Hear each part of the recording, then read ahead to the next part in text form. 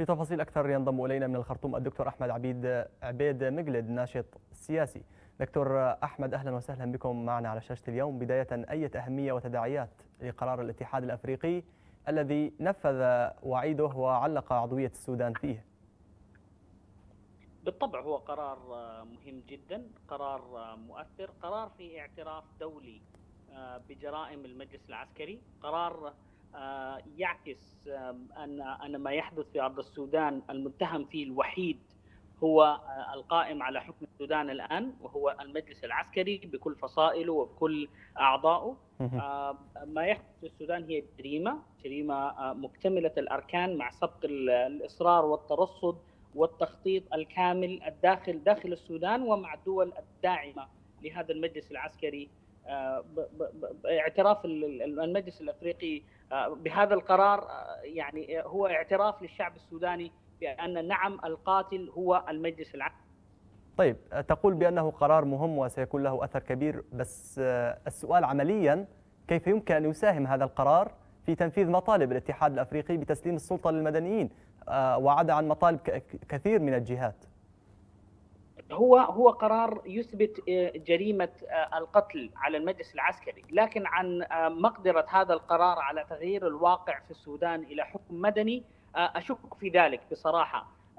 مهما كان الحكومات الدكتاتورية الموجودة المتعاقبة حتى لو انفصلت عن العالم أجمع تستمر في حكمها. عمر البشير كان مطلوب في الجنائية واستمر في حكمه. عمر البشير كان محظورا وتحت العقوبات الأمريكية واستمر في حكمه. هو كان يستمتع بالفساد وأموال الفساد والشعب يعاني.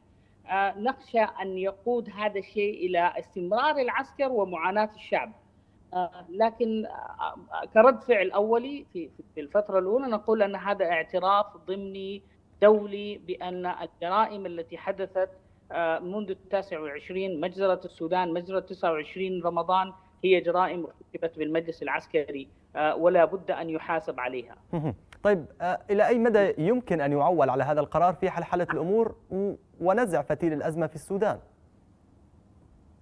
آه لا أعتقد أن المجلس العسكري سيستجيب لمثل هذا القرار. هي هي مجرد ضغط من الضغوط الموجودة حول المجلس العسكري المجلس العسكري الآن يتشبث بداعميه الإمارات والسعودية ومصر. مصر تحاول أن تلعب بكل الكروت الموجودة في الاتحاد الإفريقي.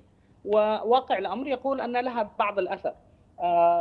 السعودية والإمارات دولتين تدعمانه تدعمان المجلس العسكري بالمال والإعلام ومحاوله شراء اللوبيات الأمريكية والإسرائيلية.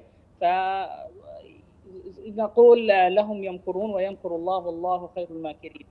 طيب بحسب كثيرين يبقى يعني إنه ككرت ضغط لصالح قوى المعارضة. بالطبع هو هو بالطبع هو كرت للضغط إضافي هو كرت للضغط حتى في في في المحاسبة الجنائية لأعضاء المجلس العسكري الآن. هذه الاعضاء المجلس العسكري حتى وإن استداموا لفترة لبعض الوقت في الحكم آه سيظل عليهم الملاحقات الأمنية والجنائية. أشكرك. آه حمايتي اوريدي مطالب. نعم.